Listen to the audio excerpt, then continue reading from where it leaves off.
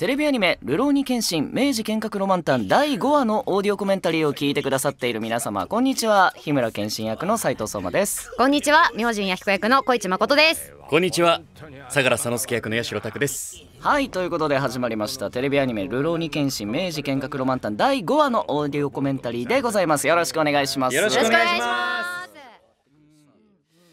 やーすごいなんかあのーいろんなとこで言ってるんですけど、まあ後でも話すと思いますけどもうとにかく隣で聞いてて、その八代拓の佐之助が熱すぎて、もうこっちもその熱に当てられてこう出したくなっちゃうけど、はい。それだとあのー同等になっちゃうんでやめてくださいみたいな。あちょうどでもここうん。この話数ねよね。うん、それって。いや本当にあのー隣で聞いててーはい。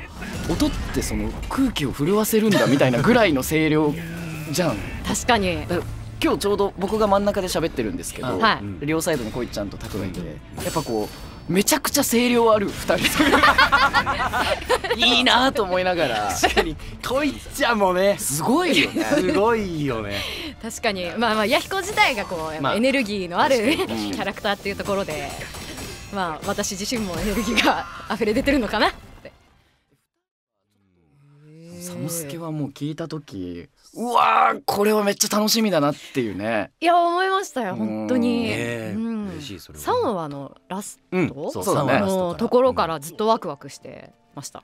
結構あのディレクションで印象的だったのが、うん。あのその3話のラストの時に、まあ一言ね、うん。言った時にその音響監督の綾さんが、ちょっと大人すぎるみたいなそうそうそうそうなんですよ。てましたね。結構ねやっぱ19歳感を意識してほしいみたいなね、でもそれは割と今でもあの意識している演じる上で意識している要素の一つで、うんやっぱどうしてもそのまあ読んでた時期とかあとはこの作品においても相良佐之助ってやっぱかっこよくてそうね。割とこう憧れてしまう部分もあってわかる。うんこう客観的にこう読者として読んでうる。と、ん。でもふと確かにハッとさせられてそれであ確かにそうだよね、うん。10代後半で考えたら、うん。まだまだ未完成不安定うん未熟もろもろさみたいなところも絶対含んでいるっていうのを改めてあそうだなっていう認識してからだからすごい気づきがありました実は3話の。あそのディレクションで。ディレクションです。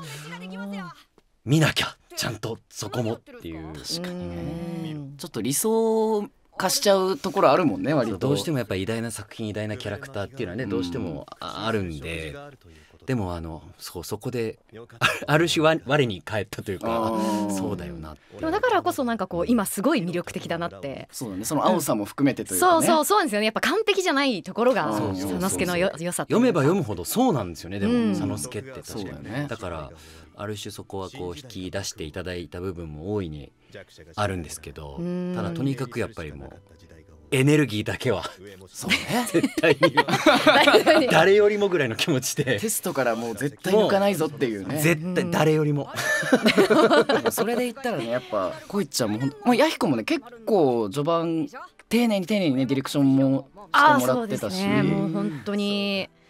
まあ確かに。まあ弥彦はそれこそこうお折れないというか、うんうん。心っていうところのディレクションやっぱ最初になんかなよっとしないみたいな。そうだね、うん。可愛くしすぎないみたいなとかね、あと結構でも俺はそのヤヒコのディレクションがすごい多面的だなというか、はい。ただいつもギャンギャン言ってるだけじゃないよねみたいな、ああそうですね。そうだね。うん、やっぱどうしてもこう漫画でもかなりびっくりマークみたいなのを多用してるキャラではあるんでどうしてもこう叫ぶとこう同じテンションになりがちというあかーなんですけどその中でもやっぱり弥彦の感情の波みたいなのはこうディレクションしながら作らせていただいてるなっていうのはすごい感じます。